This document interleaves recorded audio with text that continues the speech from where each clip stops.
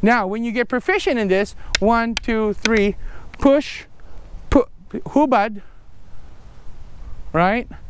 Then pop him up this way and no, no, no, not biting, right? No, no, no vampire diaries, okay? But then again, so if it, now you're telling him where to go now. When we were doing the tres tres, that's the whole idea, was learning how to manipulate your opponent. So now when he strikes me, we're doing one, two, three. He checks my hand.